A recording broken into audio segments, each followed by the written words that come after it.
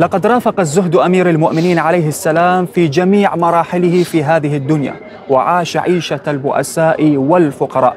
وخاصة لما تولى السلطة العامة فلم يبني له دارا ولم يلبس من أطايب الثياب بل كان يأكل مأكل الفقراء ويلبس ملبس الفقراء.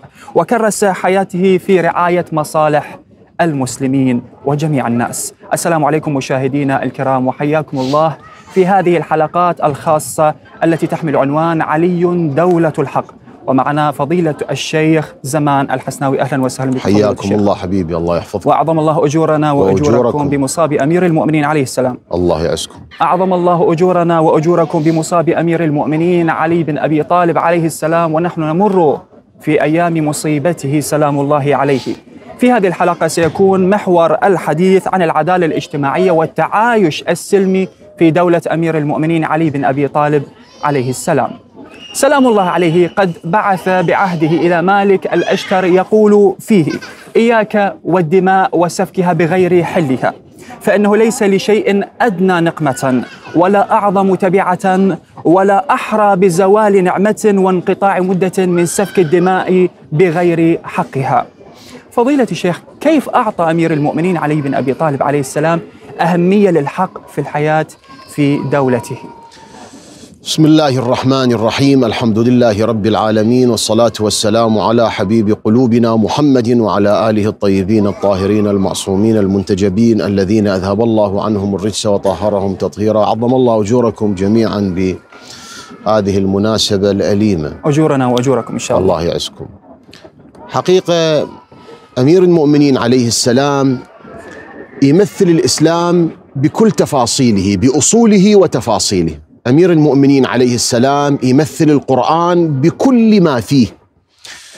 يعني يكفي أن رسول الله صلى الله عليه وآله قال في علي عليه السلام وقوله رواه الخاص والعام. قال في علي عليه السلام أنه مع القرآن والقرآن مع علي ولن يفترقا. نعم. في قول وفي آخر علي مع الحق والحق مع علي ولن يفترقا.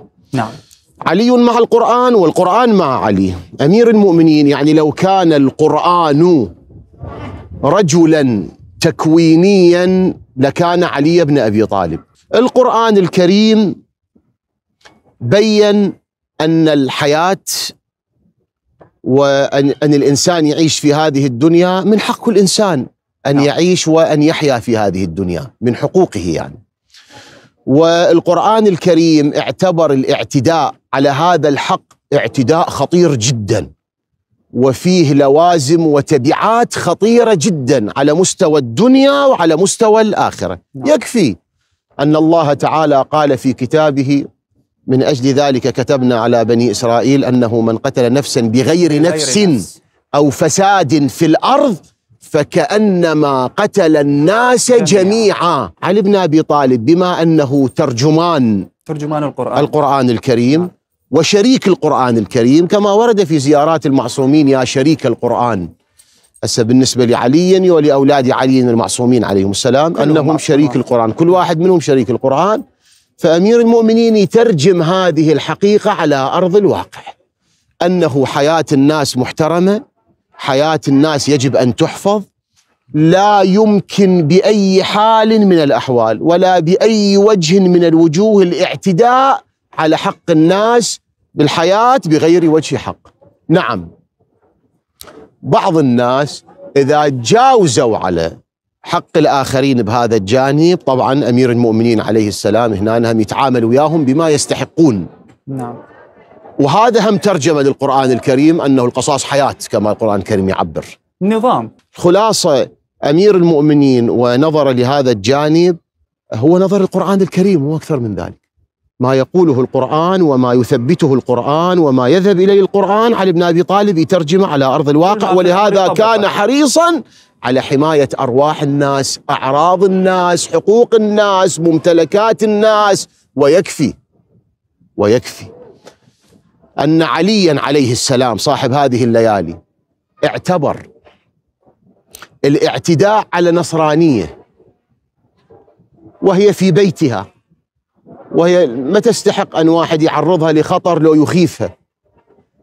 وبلغه أن هذا حصل بالنسبة لامرأة مسلمة وأخرى معاهدة معاهدة. يا الله.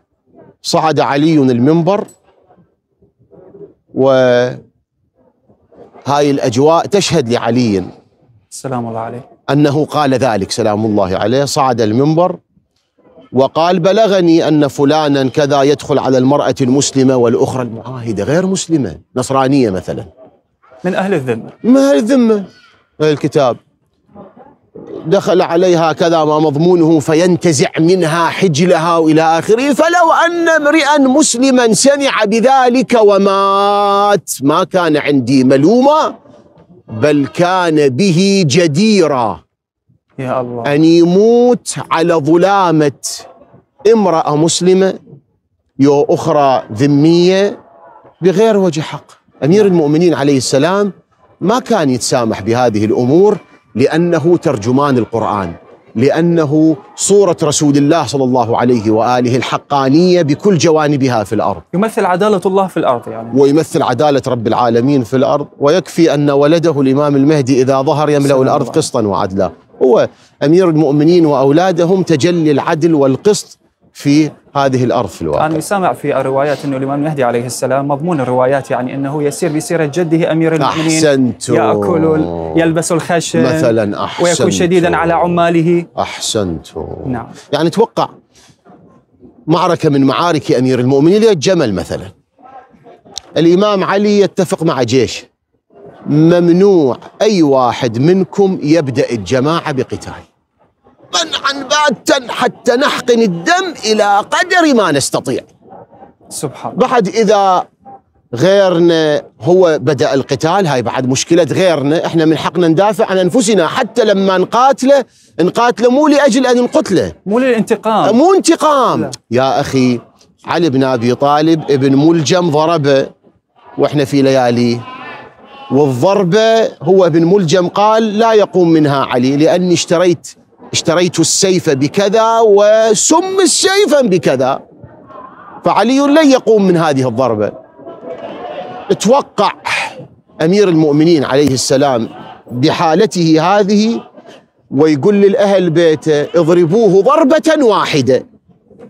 هذا جبته كدليل على كلامكم أنه علي بن أبي طالب مو يعني رجل تشفي وانتقام ونزعات و- شخصية. والعياذ بالله بغضاء وش أبدا. اضربوه ضربة واحدة. وهو على ضربة فراش بضربة. الموت وهو على فراش الموت. ولا. تمثلوا بالرجل. فإني سمعت رسول الله يقول المثلة حرام ولو بالكلب العقور. لا تمثلون. اضربوه ضربة واحدة. أما إذا قمت من ضربتي أني أشوف شنو تصرفي وياه أخلاق عجيبة يعني. ها هالشكل هذا. وهو على فراش الموت. يقول لهم تمثيل ممنوع. وهم ما يمثلون ولكن رسالة إن. تمثيل ممنوع ضربة بضربة والسلام. أكثر من هذا هم ماكو. واللطيف بالأمر أنه هذا العهد اللي بعث إلى مالك الأشتر أعطاه لمالك الأشتر. وذكرتم هاي العبارة إياك والدماء وسفكها بغير حلها.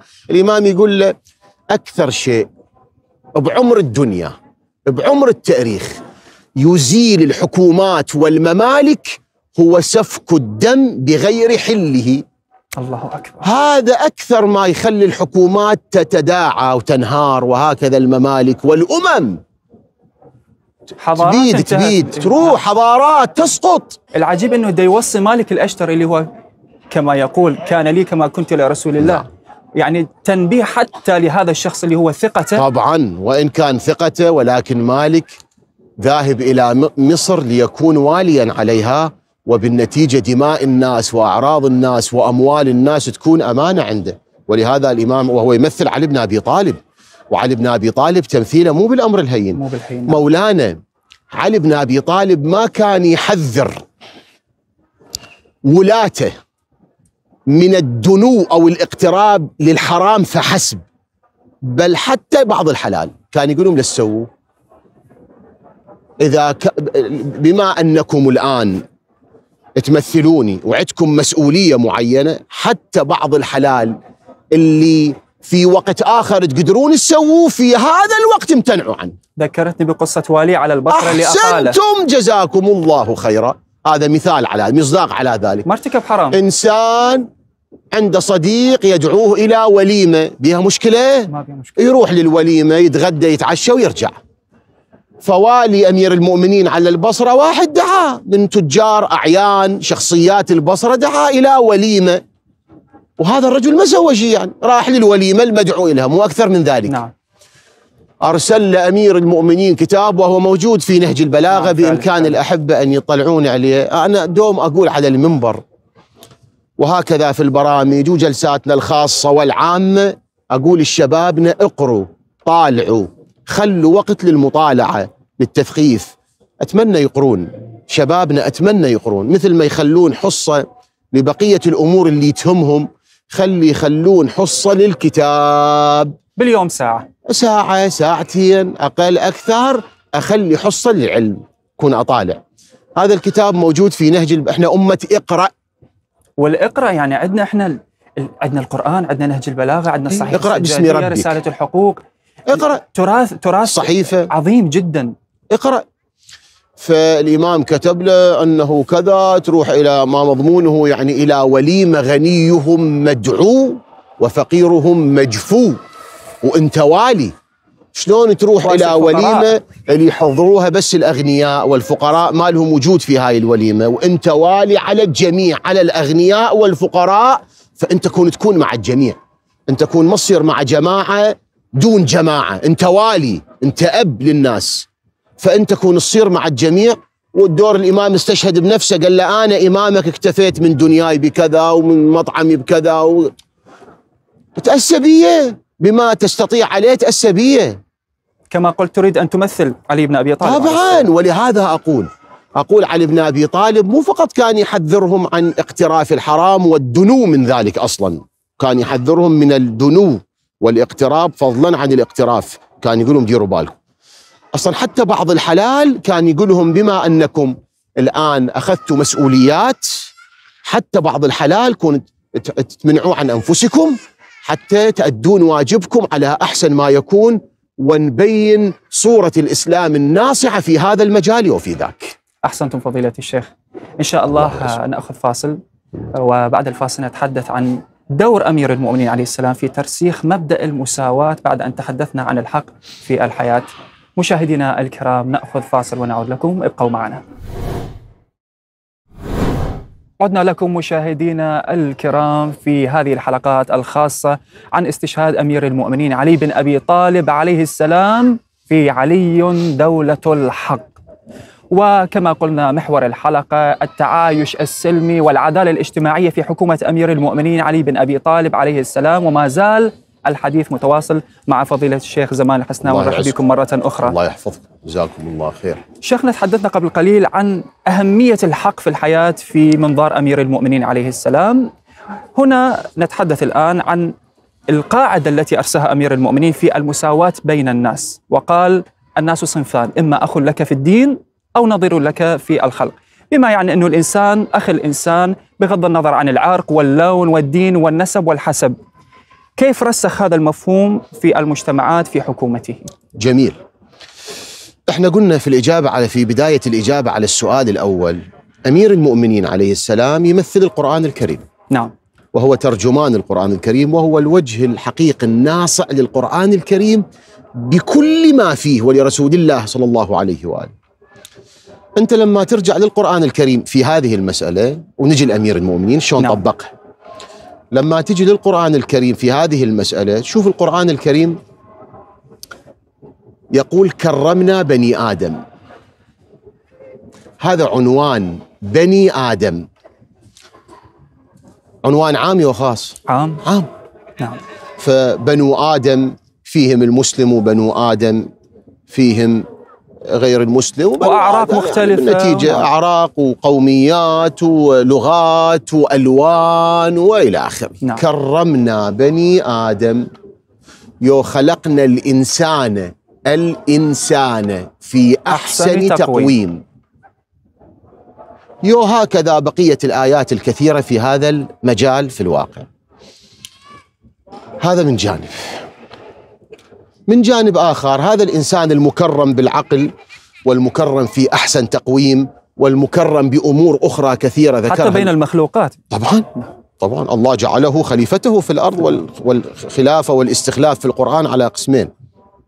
استخلاف عام وهو استخلاف ال- الشرائح البشرية أو المجتمعات الإنسانية شو تعبر عنهم؟ طبقات البشرية اللي يخلف بعضها بعضا. نعم. يعني تروح طبقة بشرية فيأتي طبقة من. بعدها تأتي من بعدها طبقة أخرى. أخرى. أخرى تخلفها. وهذا الاستخلاف هو استخلاف إعمار الأرض. استعمركم فيها كما يعبر القرآن الكريم. وهنا من باب الشيء بالشيء يذكر. بعض يقول الإسلام دين الآخرة دين إعمار الآخرة وتخريب الدنيا. ابدا مو الشكل الإسلام دين إعمار الدنيا والآخرة. هذا صح. بس إعمار الدنيا بشنو؟ بالحلال. يعني بدل ما الإنسان يعتدي على أعراض الآخرين يتزوج. نعم. بدل ما الإنسان يعمل بالربا أحل الله البيع. ليش تروح للربا؟ وحرم الربا. بدل ما الإنسان آه، يأخذ حق غيره لا يبني بيت من أموال حلال ويسكن به. منظومة إصلاحية. خلاصة. يعني الإسلام دين إعمار بس إعمار بالحلال. وأساسا اللي نتحدث عنه أمير المؤمنين وتطبيقاته هو دين. وهذا سأبين القرآن يعبر استعمركم فيها استعمركم يعني تعمروها نزلناكم بالأرض خليناكم خلفاء يخلف بعضكم بعضا حتى تعمروها دخل الدنيا أناس قبلنا رحلوا عنها وخلوها لنا ودخلناها كما قد دخلوا ونخليها لقوم بعدنا. هذا استخلاف عام. وأكو في القرآن استخلاف خاص استخلاف اصطفائي اجتبائي اختياري. هذا المعبر عنه بقول هناك الأول خلائف. القرآن يعبر عنه. هذا القرآن يعبر عنه إني جاعل في الأرض خليفة. خليفة. يو يا داود إنا جعلناك خليفة خليفة. في الأرض. فاحكم. يو اخلفني في قومي. يو وعد الله الذين آمنوا منكم وعملوا الصالحات ليستخلفنهم في. آخر الزمان وهم النبي وآل عليهم السلام. يو آيات أخرى كثيرة الآن ما تحضر ببالي. أكو استخلاف عام وأكو استخلاف خاص. الخلاصة الله كرم الإنسان في امور عديدة هذا منها الاستخلاف العام مثلا والخاص لأهله في الواقع. نعم. يبقى الإنسان هذا التكريم اللي رب العالمين كرمه به ابتداء يحافظ عليه استمرارا وانتهاء لو ما يحافظ عليه. هي هنا المشكلة. يحافظ عليه من خلال الالتزام بما يريده الله تعالى والانتهاء عما نهى عنه تعالى من خلال رسله وأنبيائه وكتبه وأوصياء أنبيائه في الواقع. هنا بعد الإنسان يحافظ على هذا التكريم لو ما يحافظ، بعض الناس يحافظون يرفع الله الذين آمنوا منكم والذين أوتوا العلم درجات. بعض الناس ما يحافظون كالأنعام بل هم اضل أضل. مثله كمثل الكلب مثل الذين حملوا التوراة ثم لم يحملوها كمثل الحمار بعضهم رب العالمين مسخهم قردة وخنازير وعلى كل اللي قلت آيات قرآنية. يعني الآن ما تفوهت بحرف واحد من خارج الثقافة القرآنية.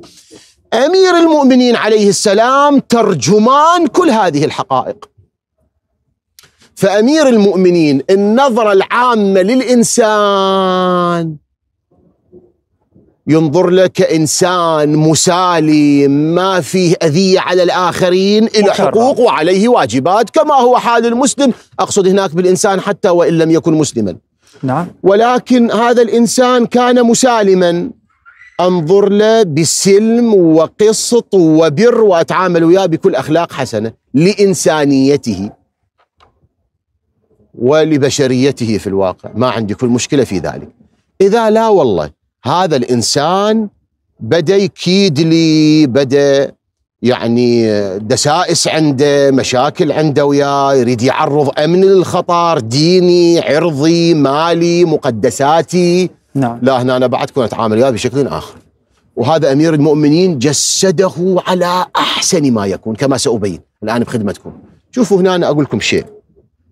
القرآن الكريم اللي علي بن أبي طالب ترجمانه القرآن الكريم اللي علي بن أبي طالب حاملة حملت كتاب الله وحملة كتبه أو كذا في زيارة الجامعة حملت كتاب الله القرآن يقول لا ينهاكم الله عن الذين لم يقاتلوكم في الدين أن تبروهم وإن لم يكونوا من. المسلمين شوف شلون يعني هذا العنوان اللي الآن الكرة الأرضية تسولف به وتنظر له. ومهتمة به مو بس الإنسانية التعايش السلمي كما يعبرون ويتهمون المسلمين بأنكم لستم أهلا للتعايش السلمي.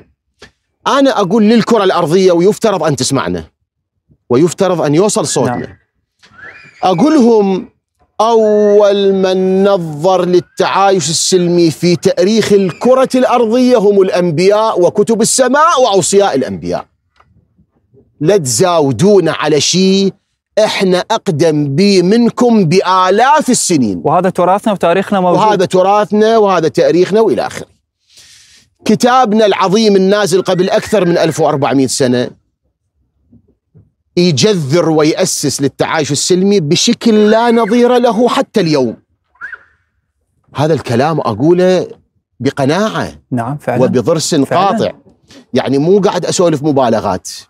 كتابنا العظيم جذر ونظر. شو تعبر تعبير آخر؟ للتعايش السلمي اللي ترجمه علي على أرض الواقع كما سأبين بخدمتكم الآن.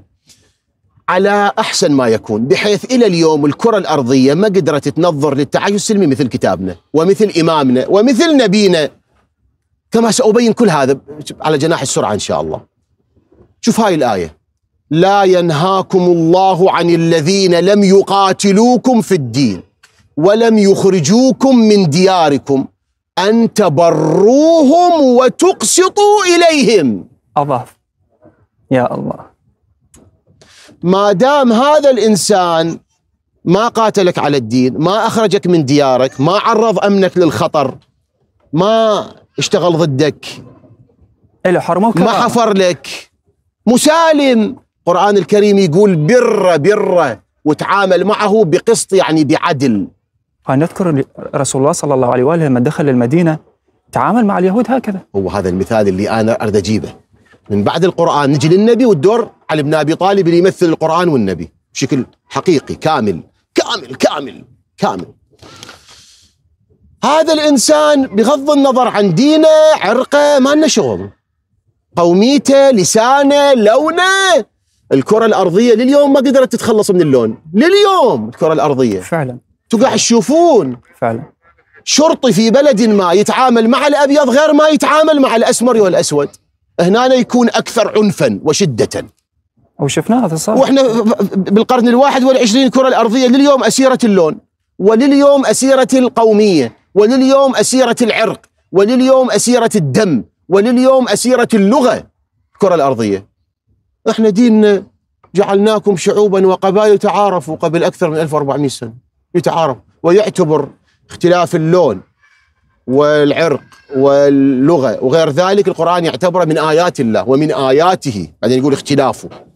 ومن آياته. أصلا هذا يعتبر علامة تدل على إيه أحسنتم. القرآن يعتبر هذا آية أي علامة تدل على عظمة الخالق جل وعلا. مو حتى نقعد واحد يعيب على الثاني لو والعياذ بالله لو إلى آخره.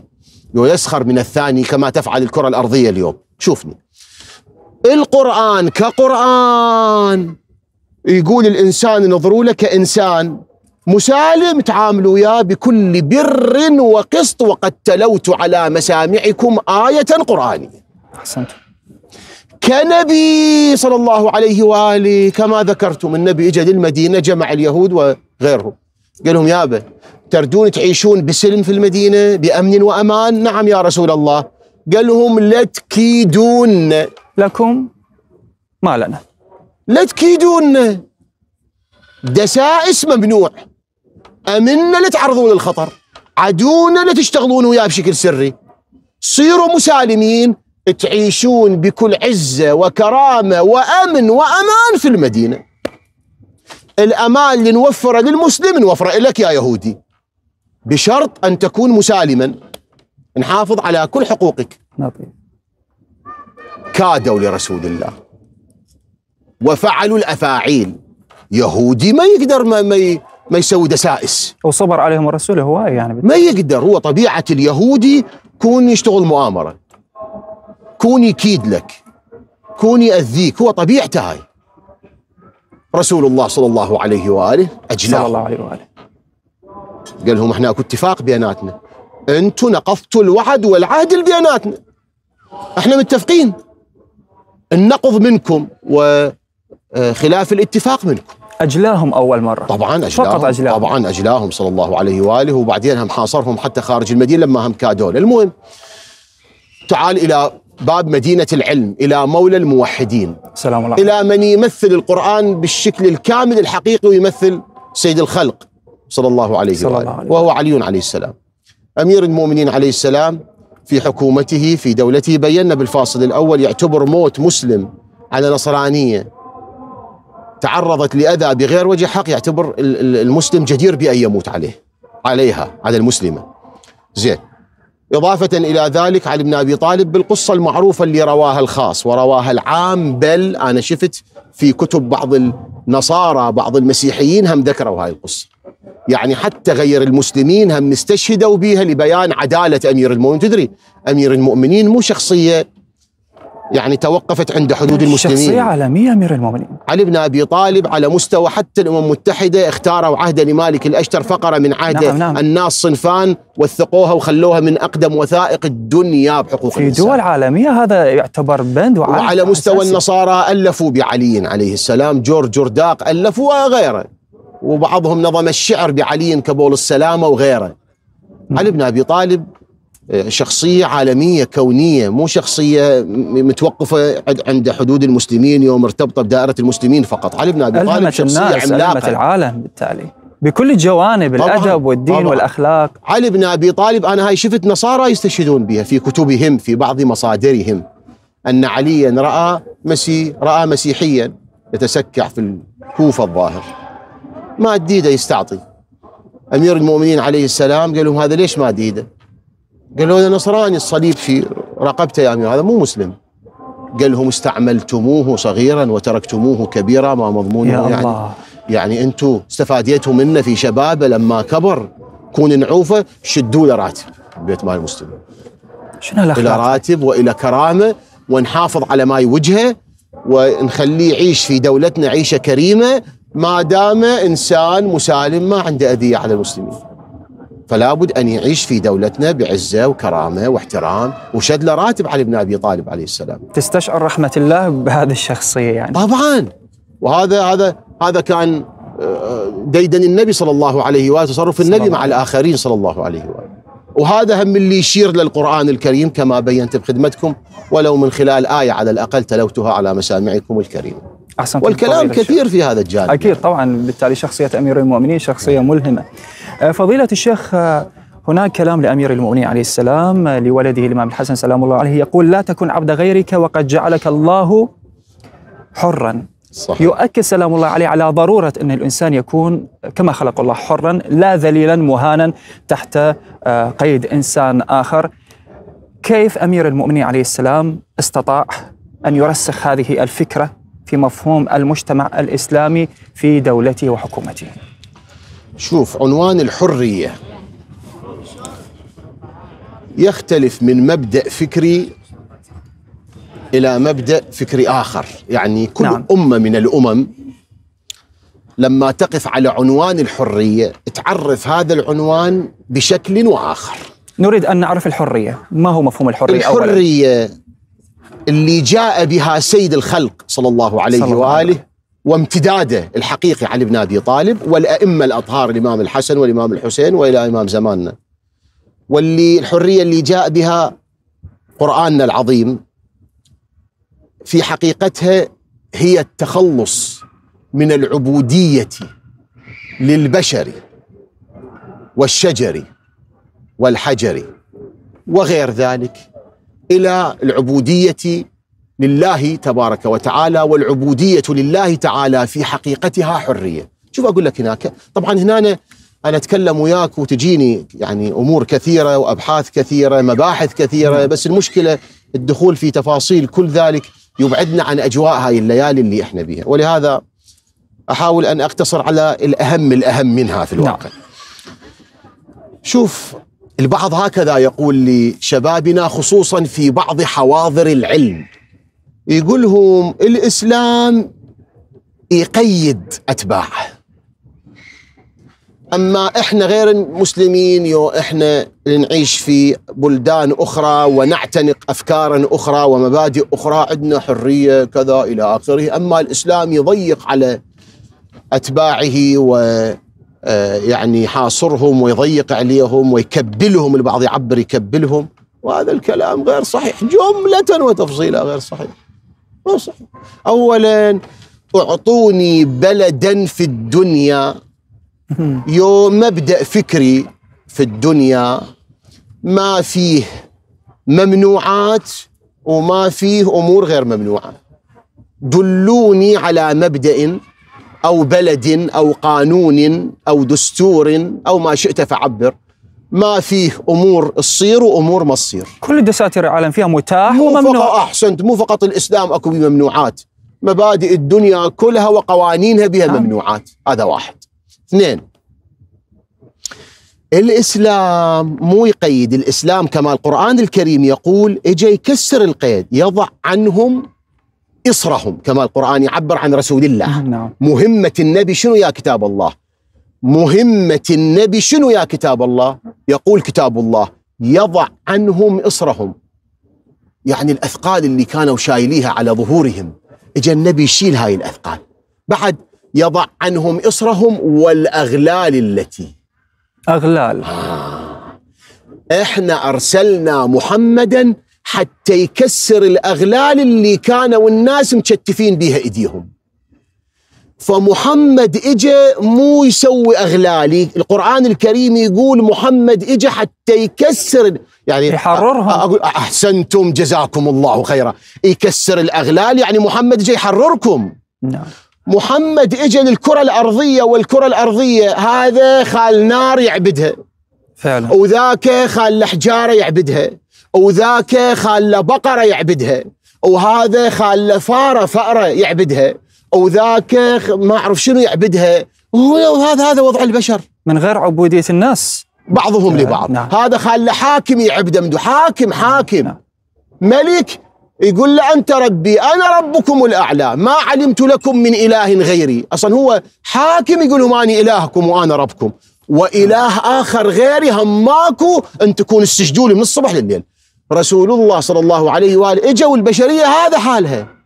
إجا محمد قال لهم الصنم تحت أقدامي. والنار اللي تعبدوها نطفيها. حتى النفس روضها. مو عبودية هالشكل يا لا النفس. قالوا إيش قاعد تسوون؟ بابا هاي الحجاره صنعتم منها الصنم.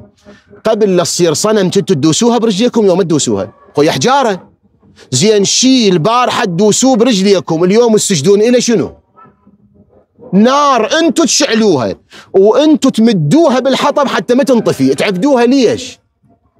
بقرة مسخرة بخدمتكم سخر لكم ما في السماوات والأرض. هي مخلوقة ومسخرة بخدمتكم تعبدوها على شنو؟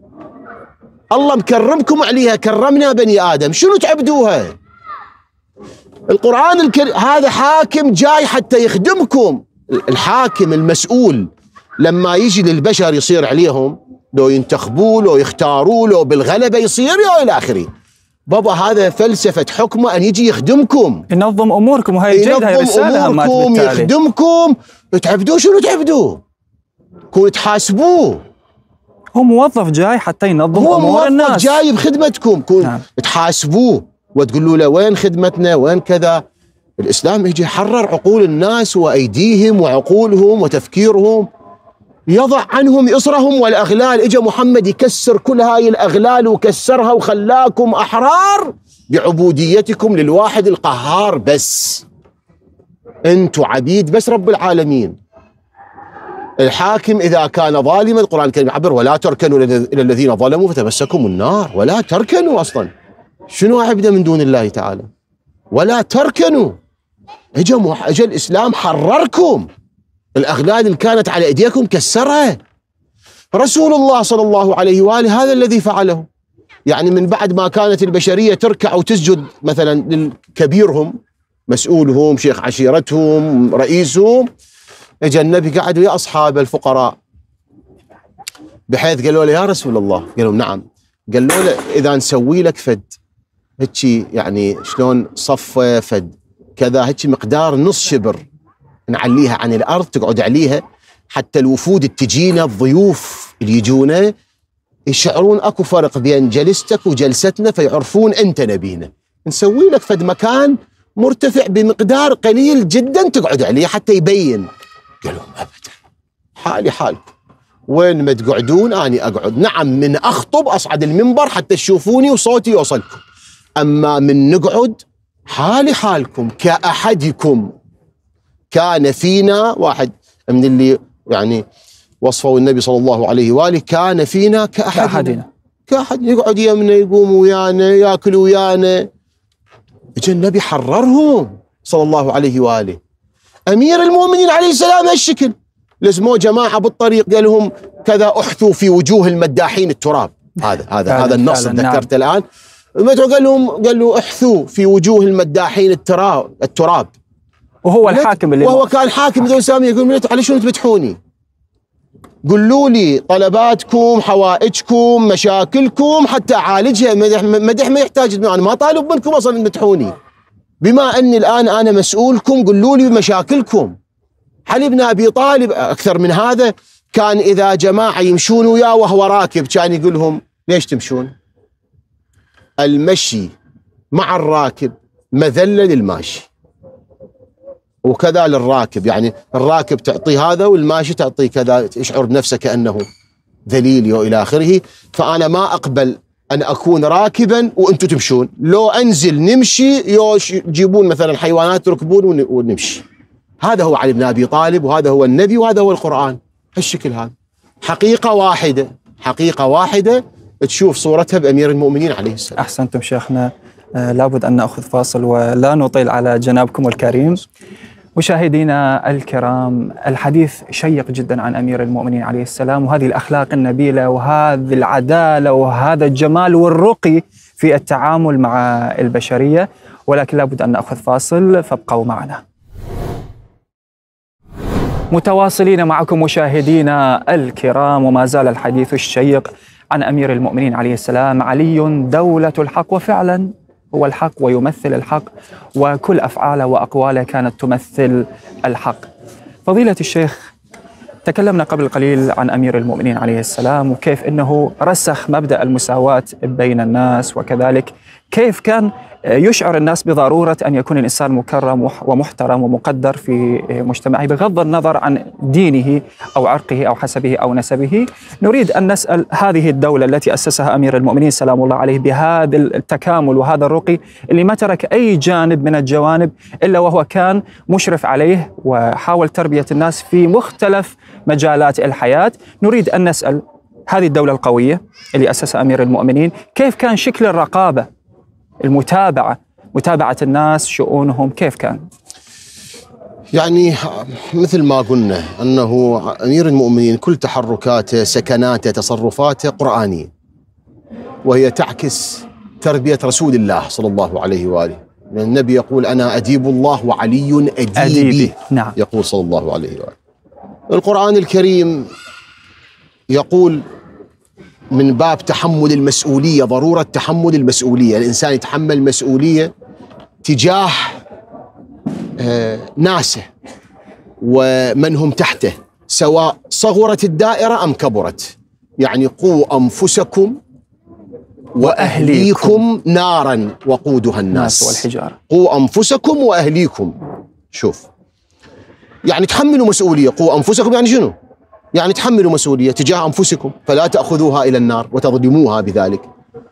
وتحملوا مسؤولية تجاه أهليكم أولادك بناتك زوجتك أخوتك وتكبر الدائرة. أ- أ- أقاربك أصدقائك مجتمعك مدينتك وهكذا. قوا أنفسكم مش ما تقدر راع. تتحمل ما تقدر تتحمل مسؤولية تجاه الآخرين تحمل. يعني أنت شوف نملة نملة في سورة النمل نملة تحملت مسؤولية تجاه أمة النمل. ادخلوا مساكنكم لا يحطمنكم. لا يحطمنكم يعني سليمان. فكرت بأمة النمل وتحملت مسؤولية تجاههم وخافت عليهم وقالت لهم ادخلوا بمساكنكم لتعرضون للأذى غير المقصود من قبل جيش سليمان. نعم. إذا كانت نملة تتحمل مسؤولية تجاه أمتها الإنسان شلون؟ يفترض أن يتحمل مسؤولية. أكيد.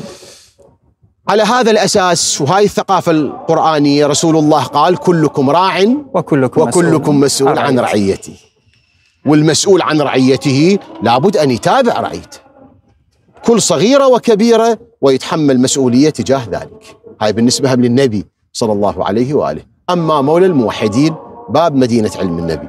أمير المؤمنين عليه السلام. سلام الله عليه. وبعد القي نظرة ولو خاطفة ولو سريعة على تأريخ حكومة أمير المؤمنين. علي بن أبي طالب عليه السلام بلغه أن واليا ما في مكان ما هذا أكو عليه علامات استفهام بالجانب المالي وكذا.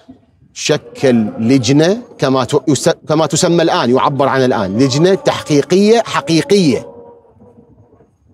وعلى أساس نتائج هذه اللجنة يكون الجزاء. هيك مراقبة كان علي بن أبي طالب شكل رقابة علي بن أبي طالب. مثلا علي بن أبي طالب أيام حكمه هنا بالكوفة هاي تشهد الآن. الكوفة لو كانت تتكلم لصدقتنا وأيدتنا وقالت هذا الكلام صحيح. الظهر كان فعلا. يطلع بشوارع الكوفة يمشي. يا أبا الحسن ليش تمشي بشوارع الكوفة؟ يقول خاف أكو مظلوم ما يندل مكاني خاف أكو صاحب حاجة ما يعرف أنا وين خاف أكو يشوفني بالشارع يطلب حاجته وأقضيها. علي بن أبي طالب هنا يوم من الأيام هاي الشوارع مال الكوفة شاف له امرأة طالعة الظهر امرأة مرأة طالعة الظهر وهو حاكم وقنبر ويا بس. واستوقفها ما خلاها تمشي. قال إيش عندك طالعة الظهر؟ محتاجة كون تقولي لي أنا أسد الحاجة مالتك. أهلك ظالميك قولي لي أنا آخذ حقك. مطرودة من البيت قولي لي حتى أعرف شلون أتصرف. ليش طالع الظهر؟ راتب ما عندك حتى أشد لك راتب. ليش طالع الظهر؟ ليش طالع حكم علي بن أبي طالب ليش الظهر طالعة؟ عجيب. قالت له يا أمير المؤمنين زوجي طردني من البيت. قال لها ليش طردك؟ سولفي لي الحقيقة. سولفت له أخذها وراح الزوج أخذها وراح البيت لزوجها وطرق الباب وطلع زوجها والإمام علي خلاها تقف أمام زوجها تقول ما عندها ويقول ما عنده ثم حكم بينهما بالحق ورسول الله قال علي مع الحق والحق مع علي ولن يفترقا حتى يرثا. حكم بينهما بالحق وعلي هو أبو الحق. سلام الله عليه. حاكم الهالدرجة كان مراقب رعيته حتى مستوى الأسرة. حتى على مستوى الزوجة وزوجها يتدخل بينهم ويحل مشكلتهم. هذا وين صار مثله بالتاريخ؟ لو مثلا قاري في تاريخ أمير المؤمنين عليه السلام أنه يسمع صوت طفل يبكي من داخل البيت يطرق الباب. يقول لهم هذا الطفل ليش يبكي؟ حليب ما عنده. ليش يبكي؟ أريد أعرف ليش يبكي حتى يعني أحل مشكلته. حتى على مستوى طفل يبكي داخل دار وهو يسمع يدق الباب هذا أنا مسؤول عنه. لأني حاكم أنا مسؤول عنه. علي بن أبي طالب فد نسخة فريدة درة يتيمة كما تعبر العرب بتاريخ الدنيا. علي بن أبي طالب حقيقة عقمت النساء أن تأتي هذا كلام يعني شهد به معاوية بالتالي عدوه. يعني أذكر أنه معاوية قال عقمت النساء أن ينجبن مثل علي بالتالي. حتى عدوه يشهد له بذلك. وهو كذلك. وشيء بالشيء يذكر على من كلامكم شيخنا أنه أتذكر هكذا أنه والي اليمن ما أعطى لأحد الرعية أحد النساء. النساء مرأة كبيرة بالسن ما أعطاها الحق. ووصل الخبر لأمير المؤمنين. أمير المؤمنين غضب وبكى وقال أنا بريء يا رب. مما فعل يعني. بالتالي أين أمير المؤمنين؟ وعد علي هذا هذا تاريخ أمير المؤمنين هو هذا. تاريخ لا نظير له في الدنيا. يعني لما تنظر للدنيا تخضع أمامه. تاريخ علي يخضع الدنيا إلى اليوم ويخضعها إلى يوم. أمير المؤمنين بنى دولة قيم لليوم حاكمة عند أتباعه. دولة قيم. وللآن مو فقط قضية حاكمة للآن الدنيا تتأثر بها لما تقرأ مفرداتها. وعناوينها تصرفاتها. لليوم الأرض لما تقرأ معالم حكم علي بن أبي طالب الدنيا تقف اجلالا واكبارا لهذا الرجل العظيم، علي بن أبي طالب بنى دولة قيم ومبادئ. احسنت هذا اللي بنى امير المؤمنين عليه السلام. أحسنتم شيخنا. وطيب الله أنفاسكم. الله كلامكم ج... كان لطيف جدا. الله واستفادينا كثيرا. ومهما قلنا عن طبعا. أمير المؤمنين عليه السلام يبقى اللسان عاجز وتبقى الكلمات عاجزة ويبقى التأريخ عاجز عن أن يفيه حقه. سلام الله عليه. وهذه أيام استشهاد. سلام الله عليه وصلوات الله عليه وقلوبنا مفجوعة بفقد أمير المؤمنين عليه السلام. هذا الرجل وهذا الحاكم وهذا الإنسان وهذا الكائن الذي آه لا يشبهه أحد غير رسول الله صلى الله عليه وآله وسلم. فأعظم الله أجورنا وأجوركم باستشهاده. سلام الله عليه. شكرا جزيلا لكم الله شيخنا الله العزيز خير الله وطيب. الله أنفاسكم الله مرة أخرى. يجزيكم ألف خير. وشكرا لكم مشاهدينا الكرام على أمل اللقاء بكم في حلقة أخرى مع علي دولة الحق. والسلام عليكم ورحمة الله وبركاته.